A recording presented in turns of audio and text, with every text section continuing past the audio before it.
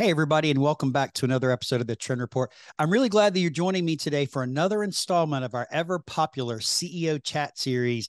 This time, I'm glad to welcome Sam Richardson, the president and CEO of the Identity Group, to the show today. Hey, Sam, how are you? Sid, I'm doing great. I'm really excited to be here. Well, I'm glad you're here. You're relatively new to me. We actually have not even met in person. We tried at NeoCon and that didn't work out. Right. And admittedly, I don't know who the identity group is. So obviously me and the listeners are all going to learn a lot today so i'm excited to uh, to have you here. And let's just kick it off with the one of the questions i like to ask everybody that i get to meet is how did you get into the furniture business? Well, then, uh, hang on let me frame that because you're actually not in the furniture business. Yeah how right. did you get into the the contract interiors industry Right. Yeah. I mean, we're we're in a lot of different businesses and we're not making furniture by any means, but we are definitely tapping into the innovation of the furniture channel through independent rep groups and and to mm-hmm. expand our uh, signage and experiential service uh, graphic services through through furniture. But let me let me take a step back. Um, yeah, NeoCon was awesome. It was a bit of our launch party, if you will. I've mm-hmm. been there before with other companies.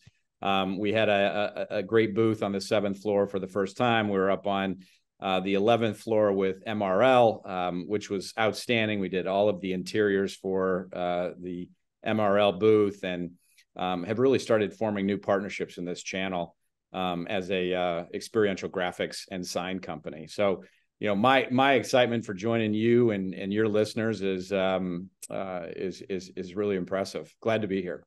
Well, so thank you very much.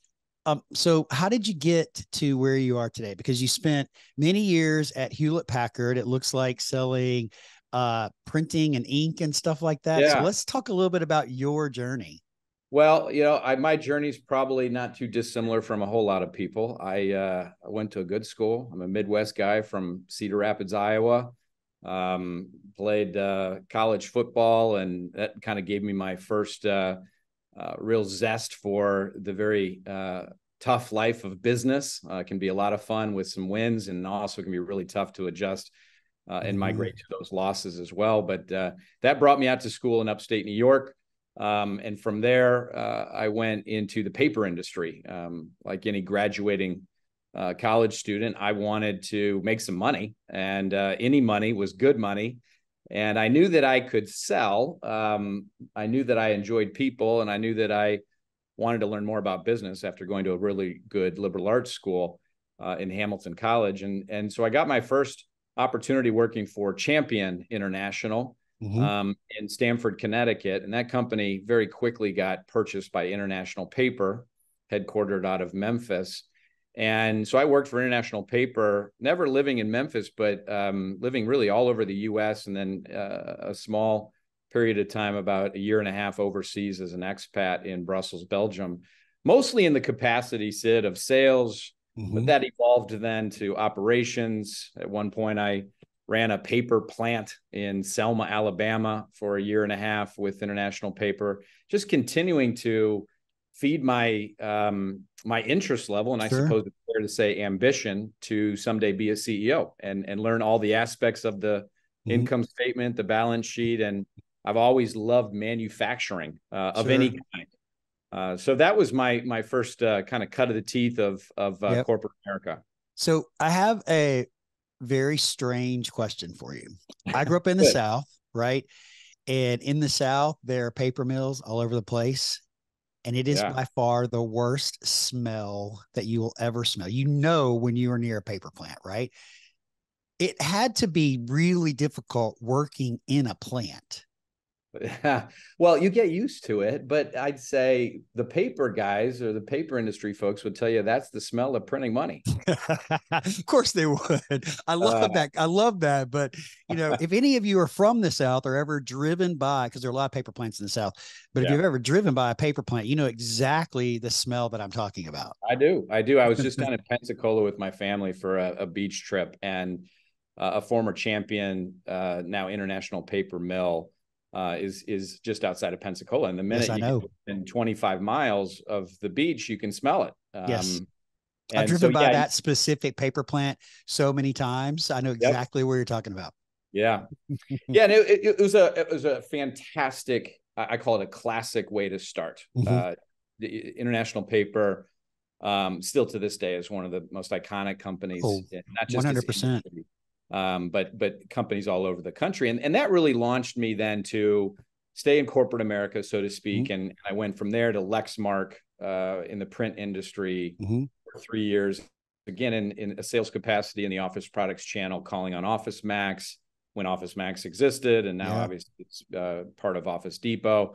Um, and from there, I, I I really was always watching what Hewlett Packard was doing, and I just have such respect for uh, HP, uh, the way it started out of a garage, and and mm-hmm. this company is almost hundred years old, and um, innovation is at its core, true innovation. Um, and yes, it's got incredible resources and scale, but I just loved the the the science and the authenticity behind what they did for their customers in the area of technology. Um, so it was it was pretty easy for me to to jump over to Hewlett Packard mm-hmm. and higher level manage um, at this point the uh, uh, entire North American commercial operation for their ink and toner business, which is That's their great. big profit driver. So um, when was it, Sam, that you realized? Because you said this a couple of minutes ago. When was it that you realized I, in my career path, I want to be a CEO? Maybe when I was seven. Oh wow! Okay. I mean, I don't know. I I was a young guy and uh, and started realizing, you know what, I would like to to lead others. And then mm-hmm. I mentioned the sports, which maybe is an overused, trite way to say it, but I the the the connections that athletics had for me in in uh, adolescence, then through the collegiate level, really was a was a great onboarding to the business side of things. Mm-hmm. I think uh, answering more um, honestly, I, I, would say I really wanted to try my hand at being a, a chief executive officer when uh, I was at Fellowes. So from mm. Mm-hmm. HP, I went to Fellowes. Sure. And, and Fellowes, we all know, great company, mm. um, iconic brand, fourth generation uh, ownership through the Fellowes family.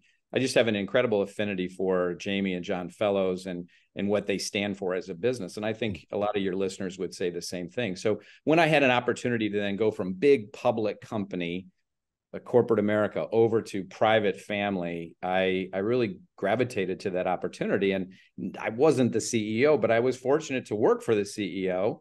And I watched how John managed his business and and and managed the I think the pressures, quite frankly, of a running a, a fourth generation family business. Mm-hmm. Um, and this is pre-COVID, and it was still really challenging. Um, and so I really started getting excited about either starting my own company, which wasn't in the cards at the time, um, or running a company. Uh, and you know, uh, fortuitously, maybe providentially, uh, opportunities started coming in in 2019 for me to do that. That's awesome. So before we dive into learning about the identity group, because I'm very interested to learn, as I'm sure my listeners are, I have a couple of questions about leadership for you. And my first question is how would how do you define leadership? Oh man, it's it's that's like the hardest question so far, Sid. Um, they get worse. I, no, just kidding. They get worse. I took a uh, I took a leadership course uh, in Chicago for for a year. This last year, I just finished it with with a, mentor and great friend of mine, Henry Givray, who who leads a, a leadership course um, for not just business individuals, but just just um, people interested in improving their skills to lead others. Mm-hmm. And you know that what seems to be very simple question that's asked so many times have so many different subjective answers to it. But uh, ultimately i would summarize it as this. I i don't think that you're a born leader. I think a lot of people believe that. It's kind of the you know uh, the chicken or the egg type mm-hmm. situation. Mm-hmm. i think i think your environment your upbringing certainly adds to it. But i got to tell you for me leadership is is a perpetual process. You're never done you're never done learning and evolving how you view leadership. But ultimately, I think it rests with how do you make others feel? How do you impact others? It's not about yourself. Mm-hmm. Um, so, what I've tried very hard to do from my innate upbringing, and I think it starts with mom and dad, mm-hmm. uh, and probably genetics, but more so from the environment of experience. I've always believed leadership equates to experience. You're a product of your mm-hmm. experiences. So smelling the paper industry and working in a in a uh, uh, gravel pit yard in mm-hmm. steel-toed boots, truly in a hard hat, was an experience that has given me the perspective that many people just don't have now in the kind of proverbial corner office as a CEO. So I think ultimately I would answer that is it's um, it's a learned trait. It's one that certainly uh, you can't just be a leader. Um, I think ultimately we use that term too loosely. Um, you're you're uh, you're ultimately improving the lives of others and influence the lives of others, and that can be a mother, a father, a yep. coach, and certainly a CEO. Yeah. So I really appreciate that, and I have a couple of really important takeaways from what you just said, Sam. And one of them was at the very beginning of your answer, you said you had just finished taking a leadership course. Yeah. And the other one was that you're never done. No. And I think you underscore someone that is sitting at the head of the table of a large company that is 50 plus years old. Yeah. Just told us that he's never done learning, that he just took a leadership course. Yeah. And I can't tell you how that echoes with me because I truly believe that none of us are ever done. And yeah. if we want to continue to get better, we need to continue to invest in ourselves. And I really appreciate the fact that, as CEO said, I'm not done and I've got more to learn and I'm taking a course, I'm working with a mentor. Those are all things that I think everybody listening needs to take away from them that we need to do the same thing, that we're only going to advance if we truly invest in ourselves and work to become 1% better each and every day. Yeah, I, I mean, thank you for saying that. I, I just, I genuinely believe that. I, I think that, um, you know, up on my uh, as I'm you're not seeing this, but up on my screen in my office here, um, I just have everybody's got these quotes, I guess, but I really only mm-hmm. have one. And if it's not a picture of my kids or a drawing my my daughters have drawn for me in a pictured frame, I have this this uh, saying on my on my com- computer screen, and it's and it's uh, the following: You'll remember how many people you developed, how many you helped have a better career because of your interest in them and your dedication to their craft when you're confused about how you're doing as a leader, find out how the people you lead are doing. And I just love that. Um, and that's from Larry Bossidy, uh, a former CEO at Allied Signal. So I can't take claim for that. But I, I posted that thing on my screen just because so oftentimes I think the noise out there, you lose sight quickly, mm-hmm. you lose attention quickly. And I, I, think at these key levels, especially during these last three years, have been so challenging. Mm-hmm. You know, you're going to be judged by how people feel around you and right. i watch how people ev- advance in their career that have either worked with me for me and sometimes against me as competitors mm-hmm. um, i think it's really important to measure yourself very humbly and modestly against how they do and how they view you years after. Mm-hmm. such a great lesson in that right there. Thank you so much for sharing that. And i think i probably know the answer to this question but i'm going to ask you anyway. What advice would you give, Sam, to emerging or young leaders, especially those that have the desire to continue to exceed in their career path to get to the place that we're we're at? What advice would you give them? You got to say yes. You, you got to say yes. I I I think uh, there's so many innate things in your brain that are um, by nature there to try to protect you from risk and failure and we're just made up that way um, so facing that fear of failure uh, and saying yes to things when offered the opportunity um, are really important. I said yes to a lot of things, and that evolves. And I would I would also say, not to contradict myself, you, you know, as you get older and you bolt on other people like spouses and partners and children, um, you have to be less selfish. You you mm-hmm. really have to balance out what you say yes to and when you say it. Um, but I, think getting a great coach and mentor and and continuing those relationships, fostering those those relationships, um, and saying yes to opportunities that maybe don't even make sense at the time. You're a product of your experiences, and if you can get as many experiences as, as possible, just by association, you will absorb knowledge, and knowledge is so important because you get to discern boy, I, I, I didn't like that, but boy, I learned a lot, and I want to pivot over here. Or man, I really loved that, but I saw it in a different way than even the person that brought me into it, and I've evolved my thinking because of it. So mm-hmm. say yes. That is such a great answer and not an answer that I've ever heard before, but it is a really powerful answer to just say yes to the opportunities that are in front of you. And uh, you, I think another big takeaway there is pay attention to what you're learning. Right. The listeners have heard me talk about this, but write it down, journal it, like put down the things you've learned. Cause let me just tell you, the last from 2017 to 2023, the list of things that I've learned, I could write five books about especially I as I compare it to the previous years. And I'm paying attention now more so than I've ever paid before. And for me, as a leader, when I make a mistake, because we're all human and we're going to make them, right? We're going to say something that the tonality of what we said did not come across the way we wanted to, right? We're going to make a, a strategic decision that maybe didn't work the way we had hoped it would work, right?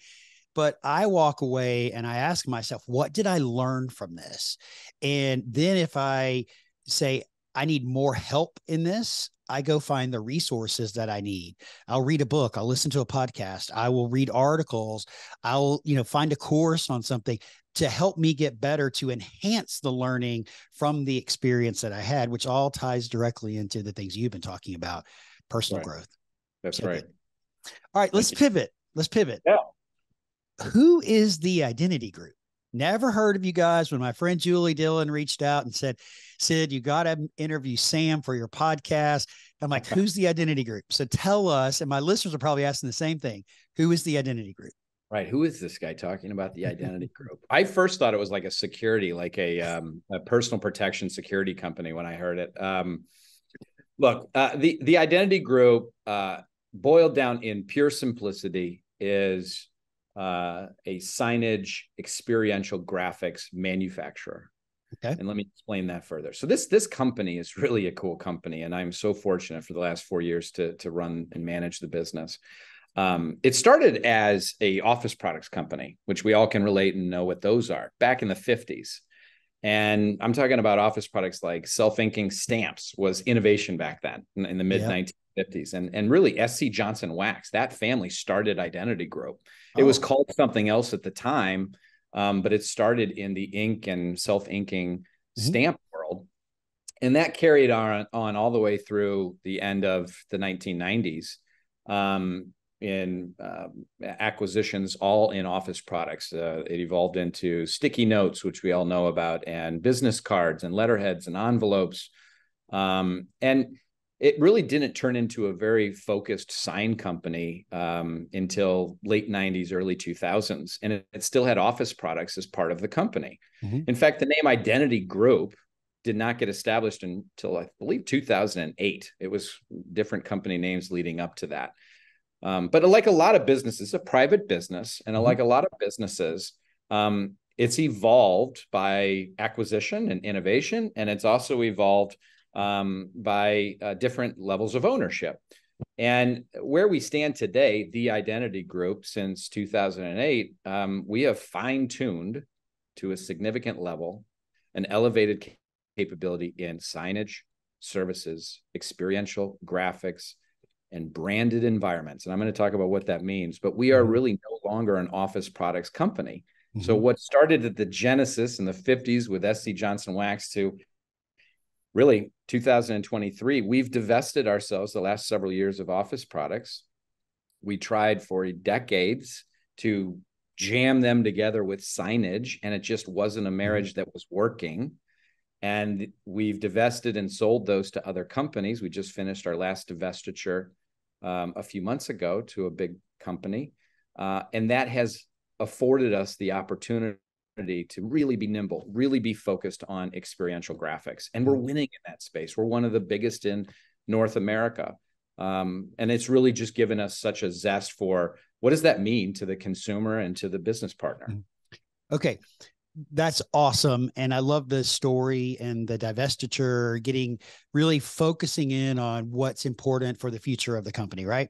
Right. So signage, and when I think about signage, I think about a couple of different things. Signs on buildings that say the name. I yeah. would do my research. I saw that Marriott Bonvoy is one of your large customers. You do a lot of signage for them. I also think about the little desk sign or the sign that hangs with your somebody's name on it outside on their panel or you know outside a hospital room there's a sign right so that's what we know as traditional signage. Yeah. And then you talked about um, experiential graphics, and then you used the word. Des- I didn't write it down fast enough. Design. Tell me the. Give me the other part. branded branded, Branded- environment. Branded environments. So I think we all understand signage. Yep. So what is experiential graphics? And then talk about the the design one, please.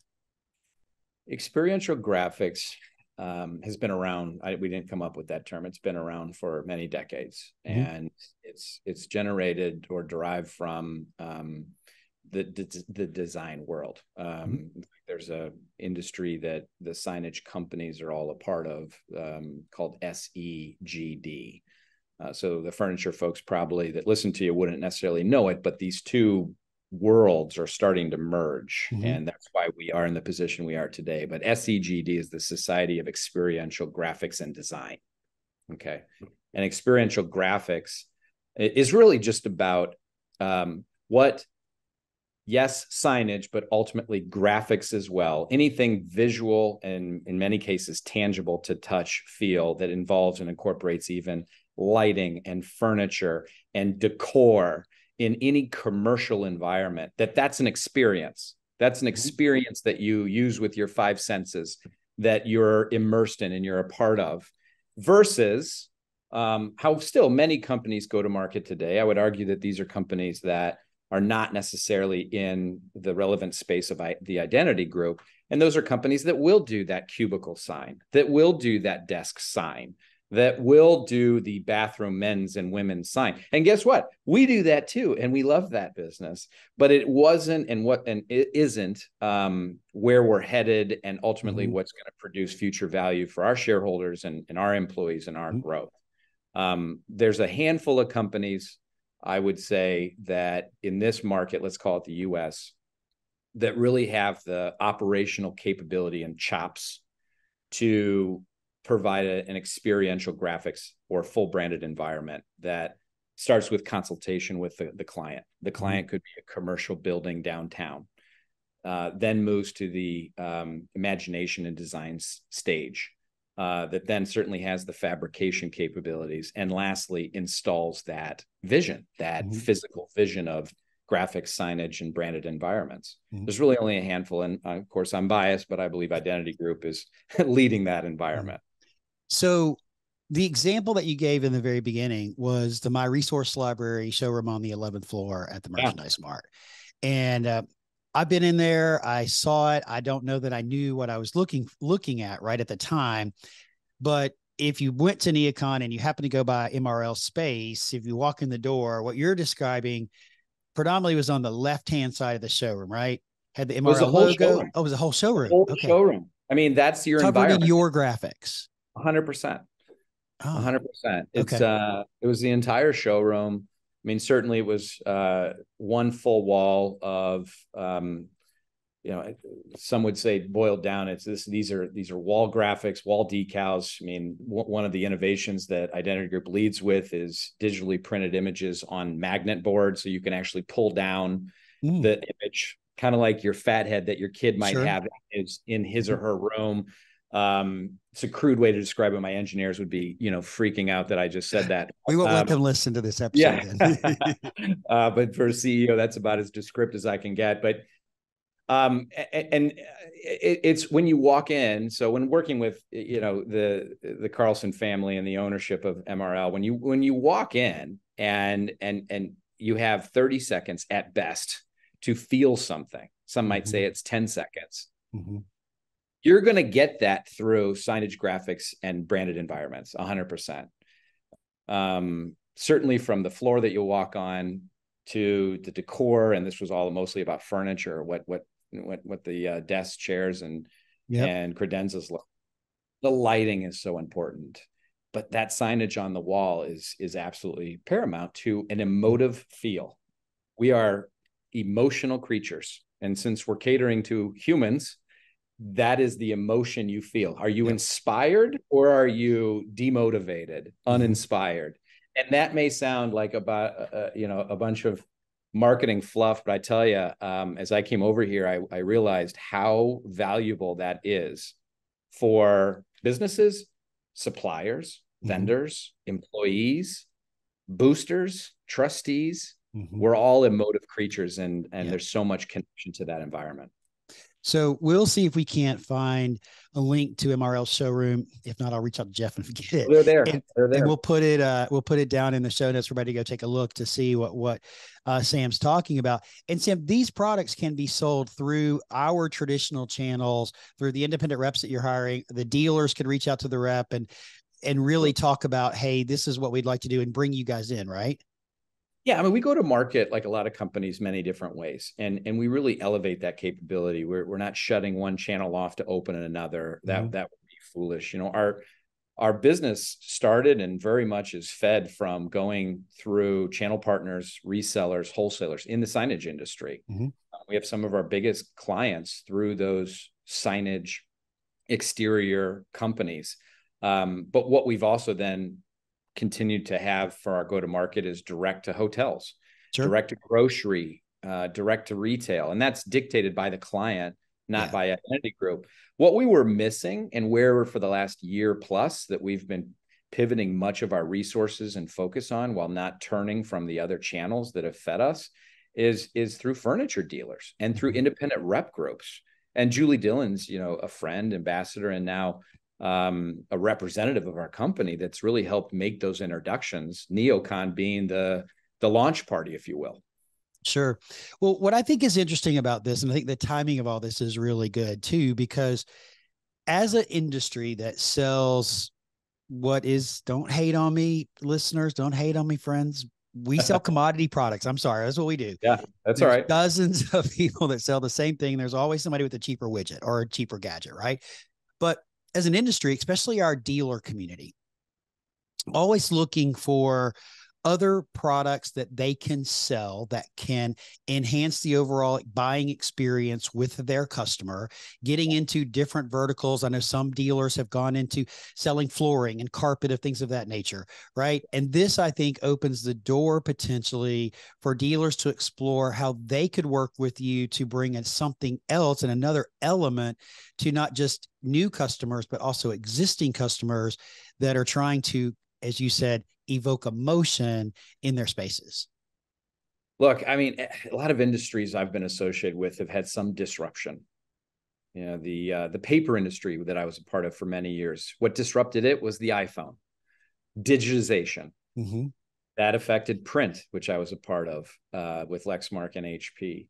I think what's affected great disruption for all of us. Some did beautifully well with it, um, and that's COVID nineteen. And those are the folks that that mm-hmm. uh, sold you, you know, Purell hand sanitizer because you know we thought that we needed that in in kegs and and buckets, um, mm-hmm. and when it was really an airborne virus. So. Um, what's disrupted the sign industry is, and and I would argue disrupted the furniture industry um, post COVID is that um, for good reason. And now it's being challenged. Some of it now is being very forced back. It's it's providing that uh, safety and security for employees to um, go home and work from home. And it's mm-hmm. created an entirely hybrid work environment, which is not a bad thing by any stretch. But now you read almost daily these big companies that are saying from Disney to JP Morgan Chase to Starbucks, hey guys, we have this really cool office and these really cool uh, amenities at the office. And by the way, we want you to come back and we want you to come back safely and securely. Um, but we know that our culture will suffer if we don't do that. Mm-hmm.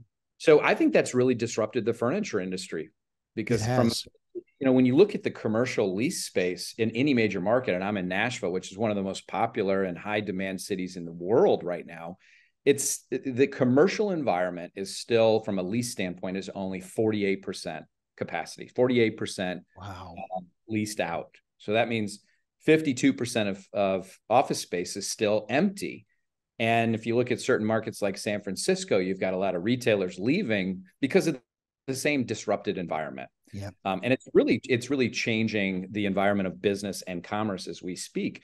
So we took that as an opportunity to not let disruption affect us negatively, but really innovate quickly and pivot quickly. Hence the divestitures on office products, the double, if not triple down investment in our sign industry, and then connect and bolt onto this independent rep group space going to the furniture partners and saying, look, we're not a furniture company, but in every environment you put that beautiful chair and desk are signage, whether it's fire, life, and safety to get people out of the building mm-hmm.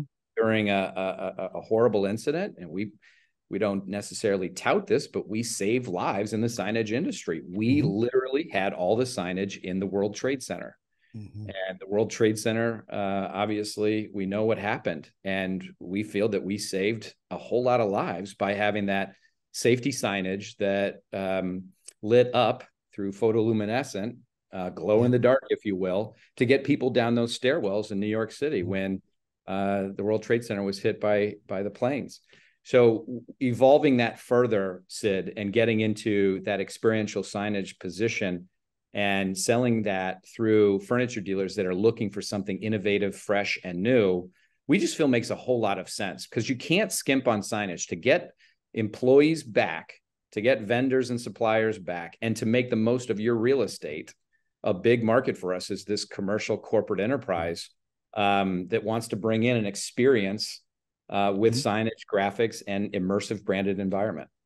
So, what I really appreciate about that is it also gives us another reason as furniture sellers. I'm not a furniture geek, right? I've always sold furniture. It gives us another reason to call a customer about a conversation that is not about buying a chair, a desk, a filing cabinet, or a height adjustable table. Right. It's about something different that, as you said, impacts their space, that impacts their employees, that very well can help bring their employees back to the workplace. Right. And um, I think that's really important. And the statistics that you dropped, if you're really listening to that, they're awful because yeah. we as an industry need people in the office. We need those leasing rates in Nashville to go from 42 or 48 to 68% because that helps our industry, whether it's a hybrid mix or all everybody in at the same time, doesn't matter. We need those spaces leased out and something happening in those spaces for our industry to continue to grow and thrive. So really, really great points. Now, Sam, when I was doing more research on you guys, I read that you you're doubling down on customer service and technology. Can you share with us what that means, doubling down on customer? Start with customer service. Yeah. Well, I mean, I think it, would be hard to debate that customers are your lifeblood. I don't know anybody that would say they're not. Um, mm-hmm. It's not your board of directors. It's it's it's not where your stock price is that day on the market, um, and I would even say it's not your financials. It, it yep. is consumers and and the, their their belief in you and their faith and trust in you. And ultimately, that is customer service related. So, as general as that sounds, where we have doubled down first mentioned the focus of the company so when we were trying to jam together office products and signage it, it wasn't the best customer experience if you will the last four years it's been maniacal around signage graphics branded environments okay to elevate beyond that, we knew that we needed to provide that omni-channel experience. Signage is a very industrial business. You make it, you install it, and then you kind of say thanks. We'll see you hopefully for another purchase order down the road. Mm-hmm. So many companies operate that way in any industry, but especially the one that we're in. Mm-hmm. And I knew that that just wasn't going to give us that enterprise value that would separate us from the herd. So we established an e-commerce ordering site, for example. So the technology I kind of learned in my days of at HP have evolved into look, we need to have a, a, good informational website, but we also need to have an e-commerce site, a true e-commerce where uh, hotels, for example, that order a full 20 floor sign package from us um, can also then come back 24 months later and order three signs, but they don't have to go through the rigmarole of uh, a, a, full effort with identity group and project manage it. They really just need three signs. Mm-hmm. And so we knew that we needed that outfit for them and and and they love it and and they've been able to see it as an opportunity to uh, archive their artwork. So in our world, design is key. In a lot of worlds, design is key. So people will design something and then 10 years later they're going to be like remember that that that design we did where is that that was fantastic so we will literally as a service provide the design archive mm-hmm. uh, on our website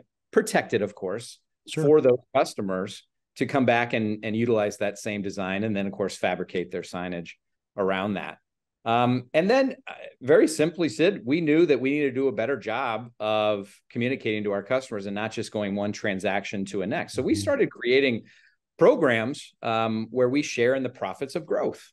And what that means is, um, as we grow with clients direct or resellers that provide end users to us, like the NFL and Amazon and Marriott, Truist Bank, mm-hmm. that as we grow, and generate the profits from that growth that we then share that through uh, programs and rebate structures and unique pricing um, even unique services where we'll dedicate project managers just to those clients we'll put physical bodies inside the buildings of our mm-hmm. top resellers wholesalers and sometimes even our end users and while that might not sound incredibly revolutionary in the signage industry, in the graphics industry, it really was. Mm-hmm. And it, it, the most important thing is it showed our clients and our partners that we were investing human capital, program capital, and strategic capital, and not just pulling the transaction button of thanks for your PO. We'll see you next month. Mm-hmm. And unfortunately, in our industry, and I'm generalizing, that transaction happens um, and then we forget. Oh yeah. Because when you buy furniture, historically, you buy an office full of furniture, you don't really need furniture again in any big way for probably 8 to 10 years, right? You might need a new chair or something here or there, but we tend to just, you know, do the transaction and walk away and I've always said that our next best sale comes from our existing customers. Right. If we would just pay attention to them and go right. back and check on them once a quarter, once a month, whatever your cadence is or whatever works for you and your business, but stay in touch with them because if you don't, guess what? Your competition is. Right. Competition is going to be there. So um, I love that enhancing the overall experience. Uh, I've talked a lot about customer experience on the show. The listeners have heard me talk about the importance of it, and you've taken a really neat holistic approach to it. So I like that. So let's talk about the technology part. Okay. Because many people have said that our industry will not be disrupted by product, it'll be disrupted by process or technology. So tell me about the technology aspect. Well, in, in our business, um, the disruption on technology is um, analog is moving to digital and has been for a very long time. Um, digital is more expensive typically until that technology becomes more um, full scale and then yeah. prices come down um, you know, when I was in at, at HP, the history of HP is, you know, the first inkjet printer. We're talking about it being thousands and thousands and thousands of dollars. Now you can get one for, you know, $29 at Best Buy. So as that inkjet technology became more ever present, you know, the prices go down.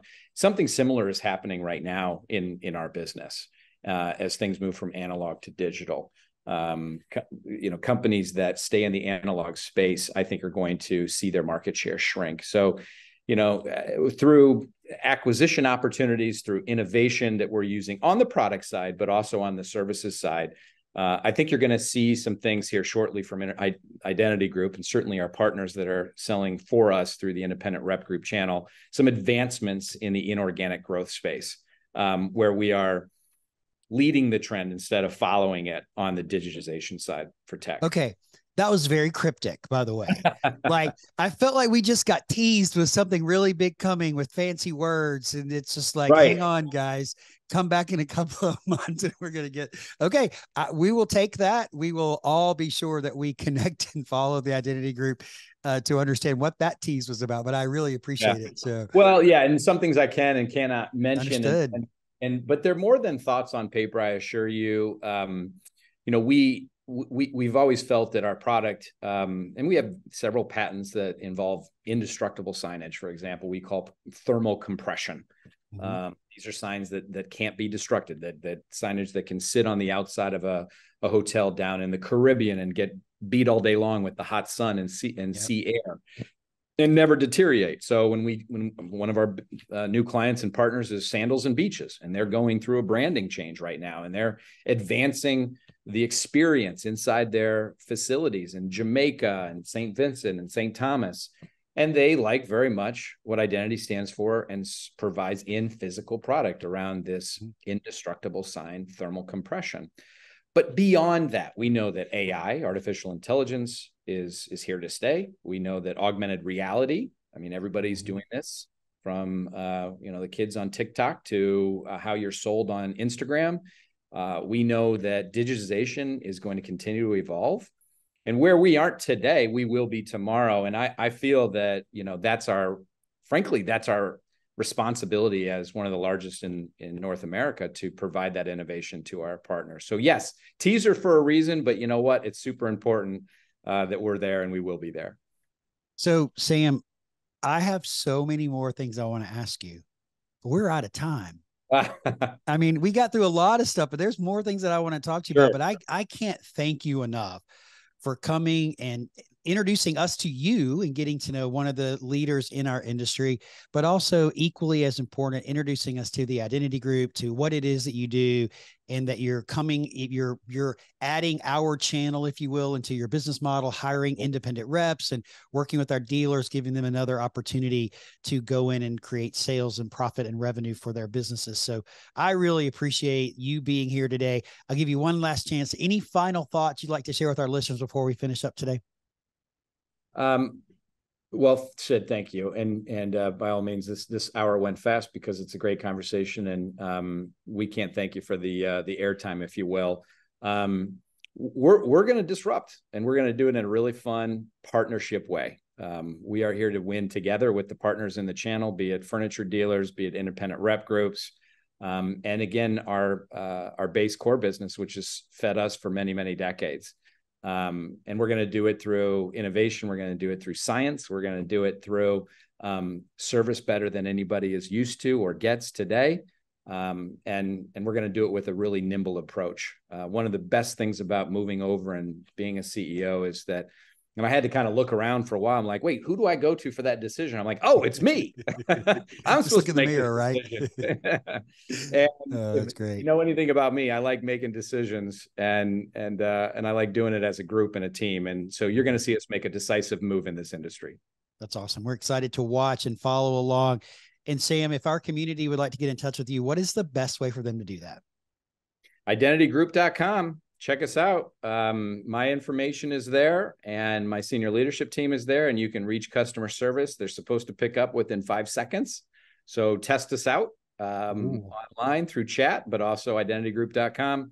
Um, you'll find uh, an e-commerce site on one part of it where you can buy your signs uh, and and uh, employ your services, or you can find a whole lot about how to connect with the salespeople and the marketing people that we have out in the market. That sounds great. We'll be sure to drop all that down in the show notes. Sam, thank you again for being here. Thank all of you for hanging out with us for another important CEO chat and this conversation.